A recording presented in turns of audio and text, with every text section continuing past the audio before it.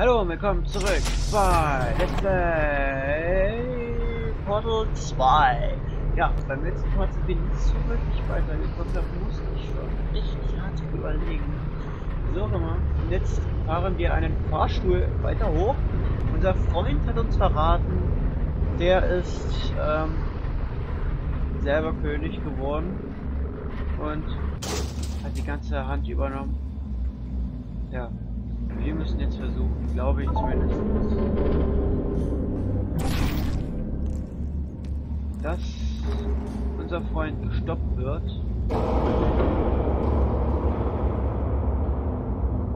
Ja. Ansonsten hat er für immer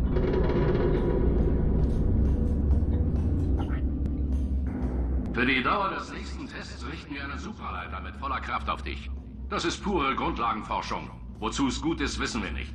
Vielleicht passiert gar nichts. Im besten Fall verfügst du hinterher... Für die Dauer des nächsten Tests richten wir eine Supraleiter mit voller Kraft auf dich. Das ist pure Grundlagenforschung. Wozu es gut ist, wissen wir nicht. Vielleicht passiert gar nichts.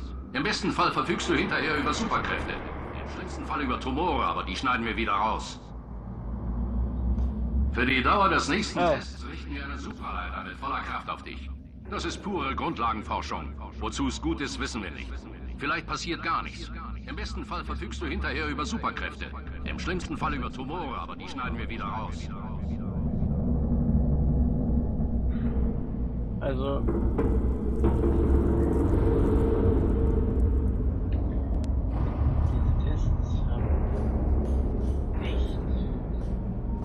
Wenn du dich schneidest und dir auffällt, dass jetzt Benzin in deinen Adern fließt, ist das völlig normal.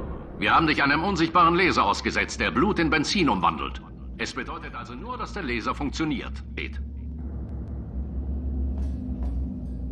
Okay.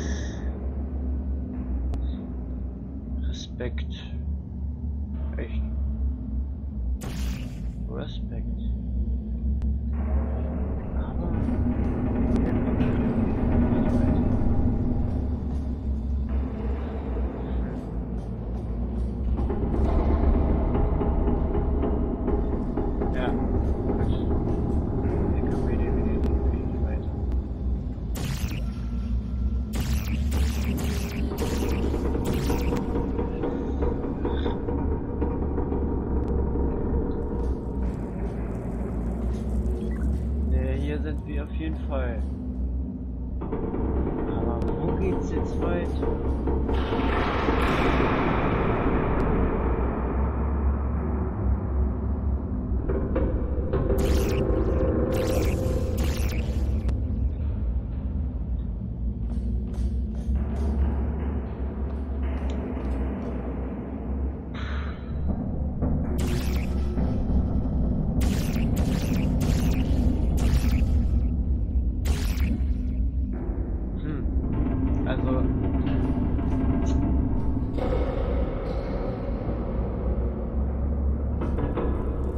Ich weiß es nicht.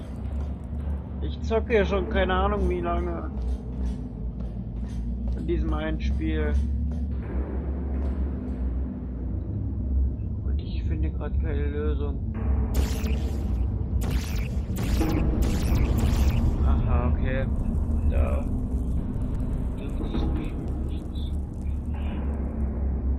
Hm. Also, ja.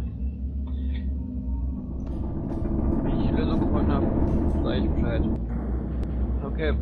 Ähm, ich bin jetzt gerade einfach mal hier die Treppen runter. Und ich stelle gerade fest, ich hab das gar nicht.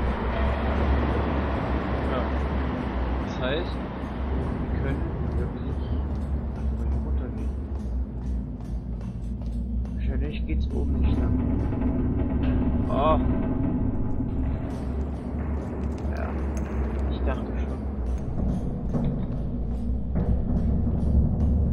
Dachte schon, das wäre jetzt wieder unser Freund und Helfer. Aber nein. einfach nur fake. Ja.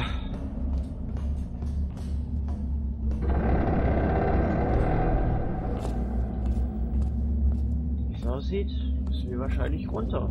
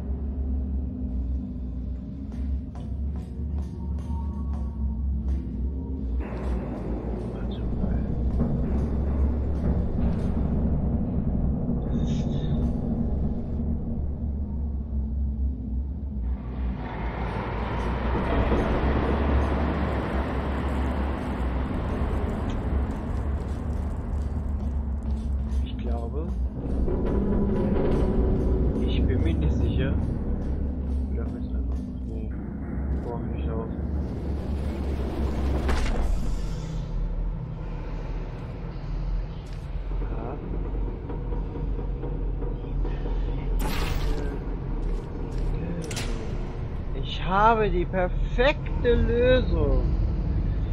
Ja, bis gleich. So, diesmal steigen wir aber. aber gut. Dann. Ja. Also, wenn das jetzt wirklich funktionieren sollte, dann gebe ich einen Abklatsch. Achtung. Ich komme. Komm, bitte, bitte, bitte, bitte, bitte, bitte, bitte. Oh. Okay. Ja, es hat funktioniert. Ja, finde ich gut. Danke. Es ist toll, wie ich nachdenken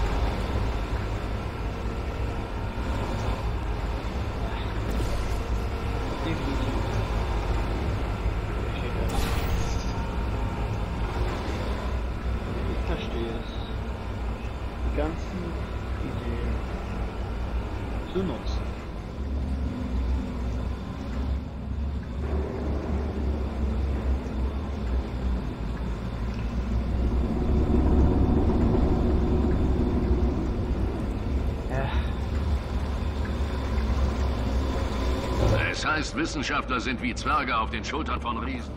Nicht so bei Albert. Wir brauchen niemanden, der uns das Händchen hält. Okay. Gut, dann wäre das auch schon mal geschafft. Das war ganz schön hart. Muss ich schon sagen, es war jetzt wirklich hart. Ich wusste gerade wirklich nicht, was jetzt passiert, was ich jetzt machen muss, was, was, was ich. Ja.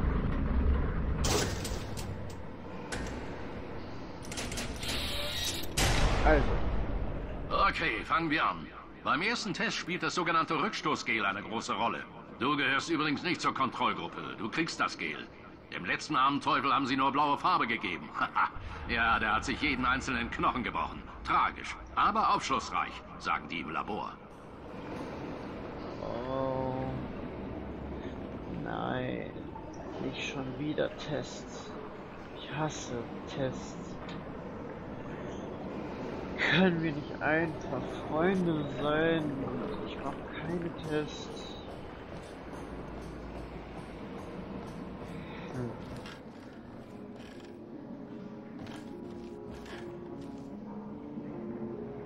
Ja.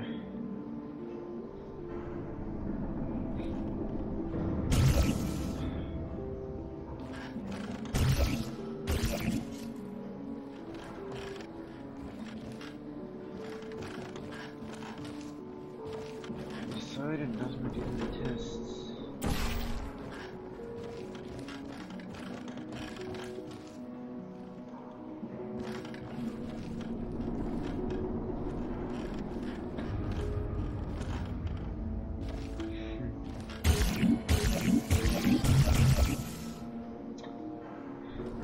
Mann.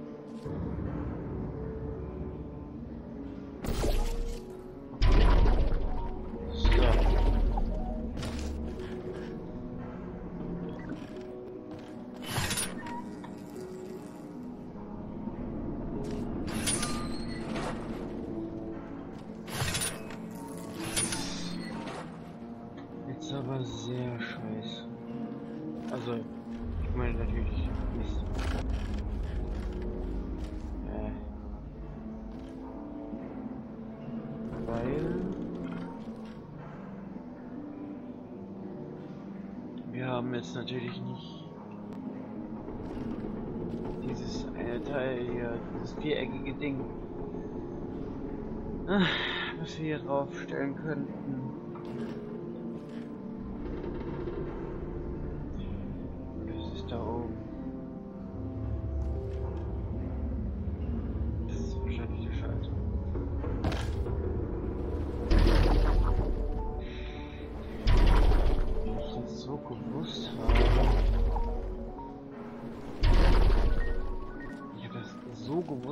Gewusst gerade. dass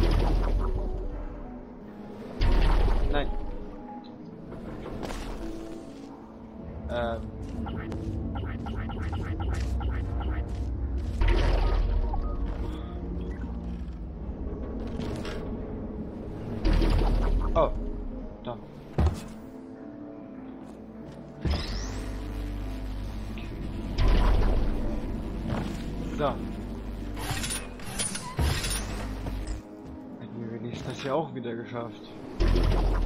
Die Jungs im Labor meinen, ich sollte die Kontrollgruppe nicht erwähnen. Sie meinen, ich sollte diese Nachrichten nicht mehr aufnehmen. Das hat mich auf die Idee gebracht, noch mehr davon aufzunehmen. Ich bin hier der Boss und ich kann so viel über Kontrollgruppen reden, wie ich will.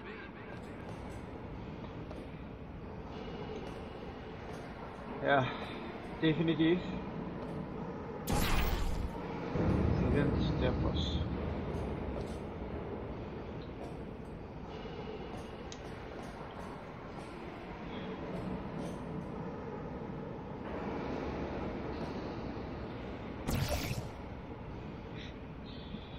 Also wisst ihr, was ich ausgemacht habe? Dass ich überhaupt gar keine Lust mehr habe. Diese Scheiße hier. Das ist gerade richtig Mist für die ganzen Tests. Oh. Oh. Sehr schön. Sehr schön gestaltet.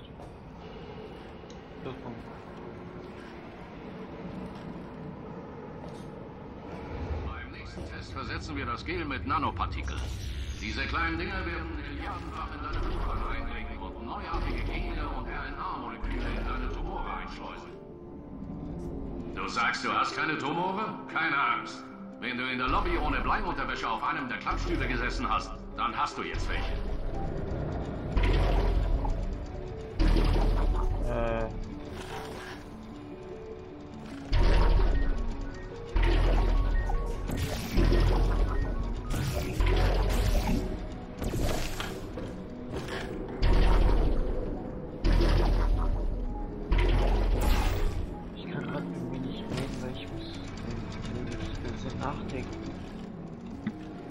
Gut.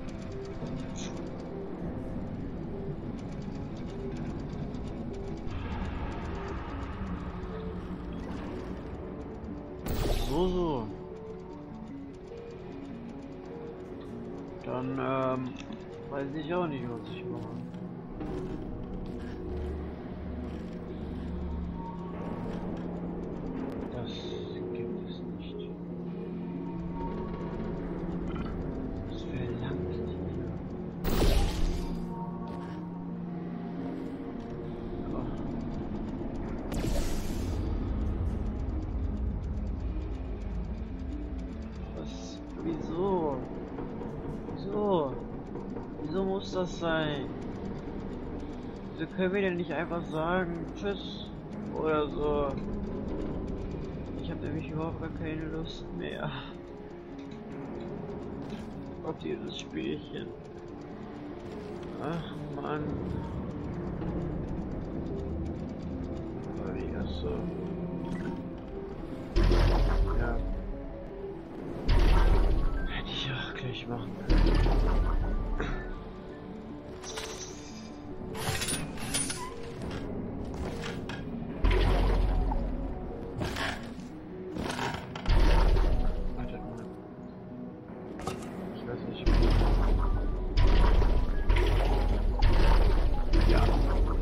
Das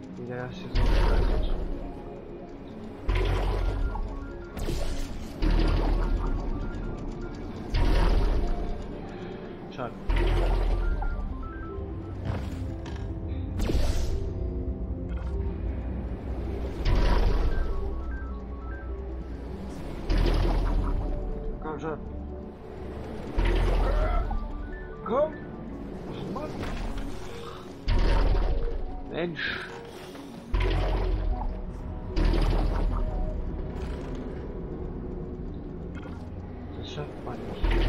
Das geht nicht. Wow, wie jetzt? Wie?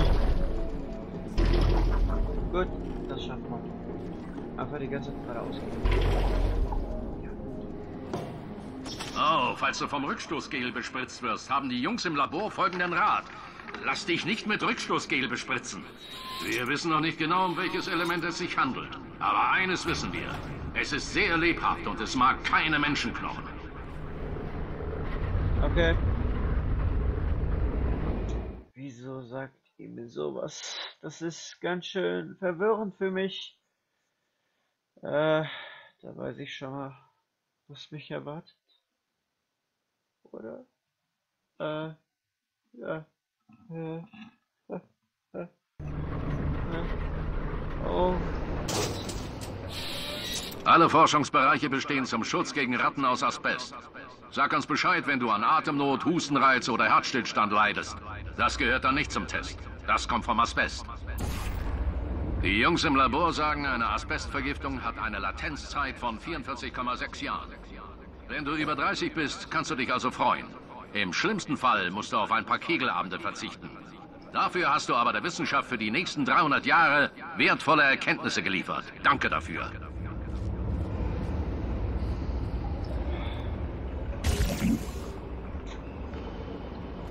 Ja.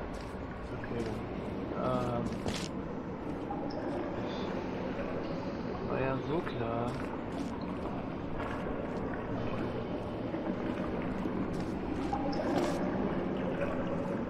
Das war irgendwie so klar.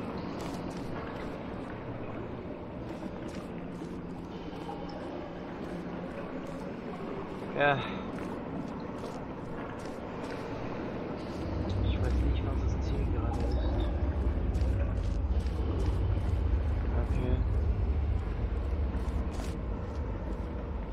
Ich glaube. Doch nicht. Wo liegt das Ziel? Ich weiß es nicht. Ich weiß es nicht. Wer hat das weiß ich nicht genau.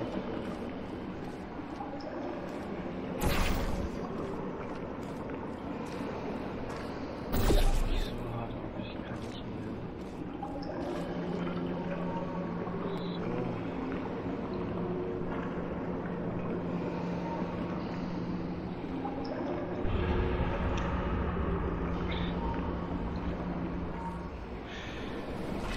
Oh.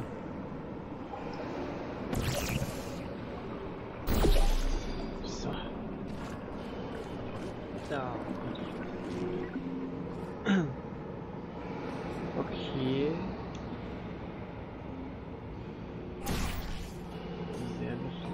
Ha! Dein Stil gefällt mir. Du machst dir deine eigenen Regeln, genau wie ich. Die Erbsenzähler meinten, ich kann keinen entlassen, nur weil er im Rollstuhl sitzt. Hab's trotzdem getan. Rampen sind teuer.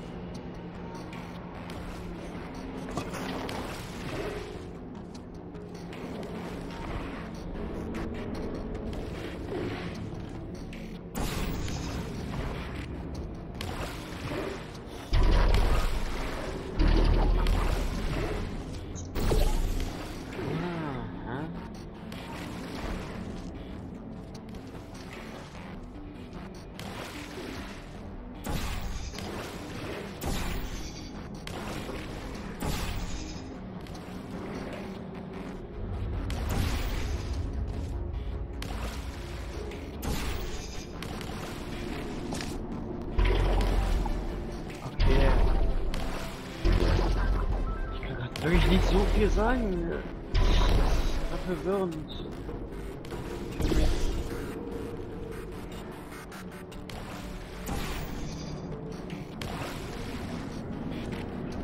Weil ich weiß jetzt nicht, wer mein Feind, wer mein Freund ist. Wem auch immer ich gerade im Moment vertraue. Also ich weiß es nicht.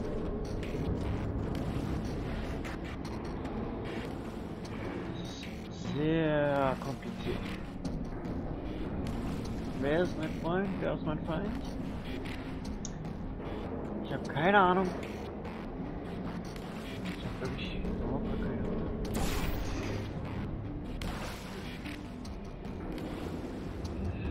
Null Ahnung.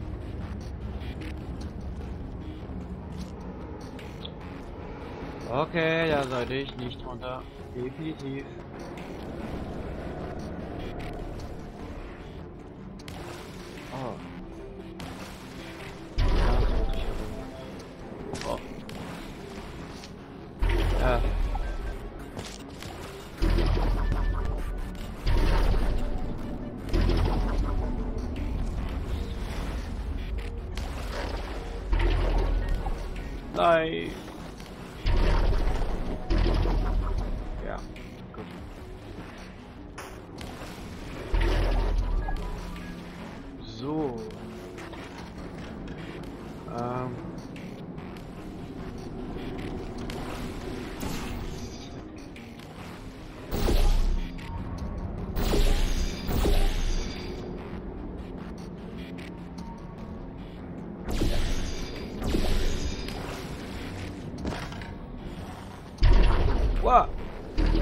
Es ist nicht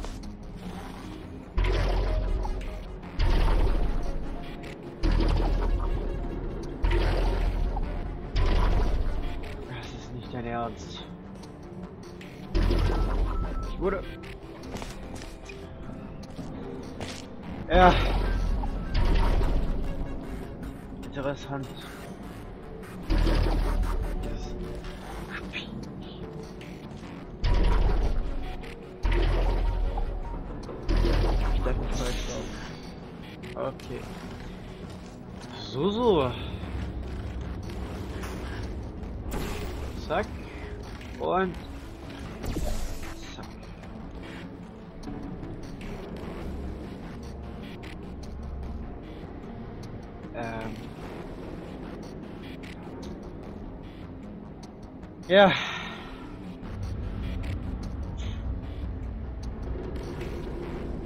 Ich weiß nur nicht, was, oder eher gesagt, wieso ich das hier machen muss. Gerade. Weil ich nämlich nicht weiß, wo lang.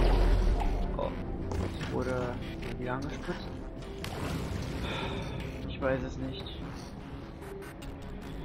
weiß es wortwörtlich. Doch, ich weiß es. Ich weiß es wortwörtlich. Und zwar, mein Plan ist gefolgt. Springe da runter, spring, springe, springe dann hier ab, dann lande ich dort. Hoffentlich funktioniert das. Der Kaffee von vorhin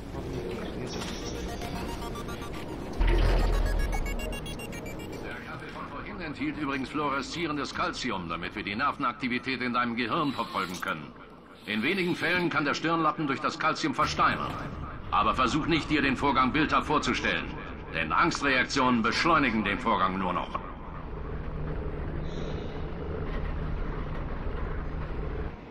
Das ähm, war jetzt irgendwie gerade nicht so geplant, aber gut. Wir sind wenigstens weitergekommen. Ja, das ist schon ein bisschen hart. Da muss man die ganze Zeit überlegen und ich weiß nicht, wie viel los ist. Warte mal, ich guck mal nach. Uiuiui, huh, drei Viertel eins. Wenn du zur Kontrollgruppe Kepler 7 gehörst, haben wir einen winzigen Mikrochip der Größe einer Postkarte in deinen Schädel implantiert.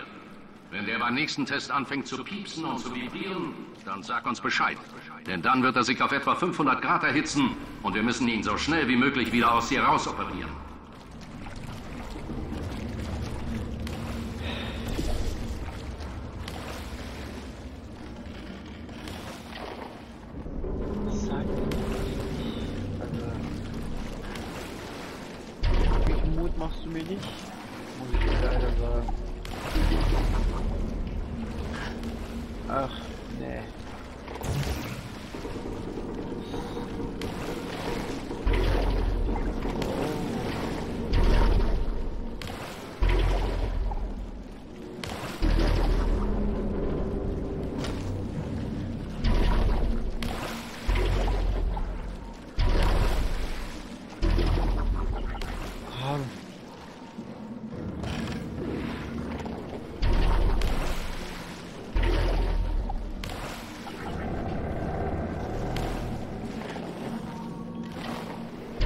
Okay.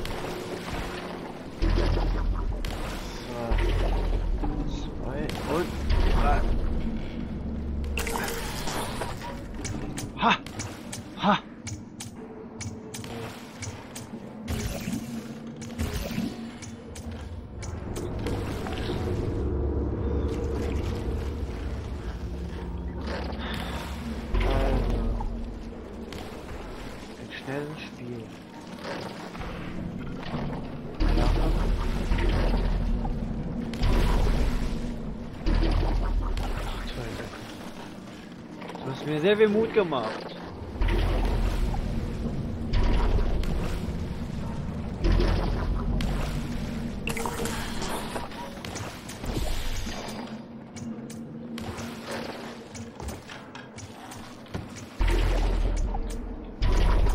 Komm schon. Ja! Ganz ruhig bleiben, sage ich denen immer. Zum nächsten Test gehört eine, eine, eine kleine Zeitreise. Darum folgender Tipp. Wenn du deinem eigenen Ich begegnest, schau ihm nicht in die Augen. Im Labor sagen sie, das könnte zur Auslöschung der Zeit führen. Komplett. Kein Vor- und kein Zurück mehr. Also, tut euch beide den Gefallen und lasst den Jungen einfach seine Arbeit machen.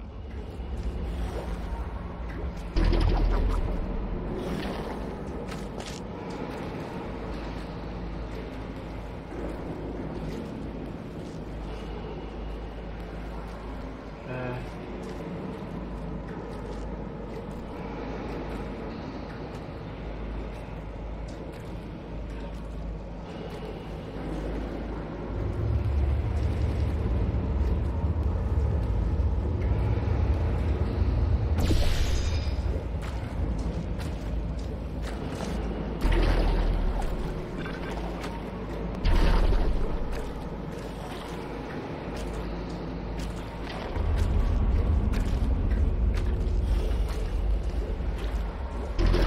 Okay.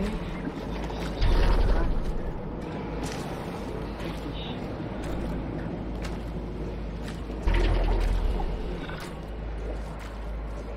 Soll meine eigene niemals in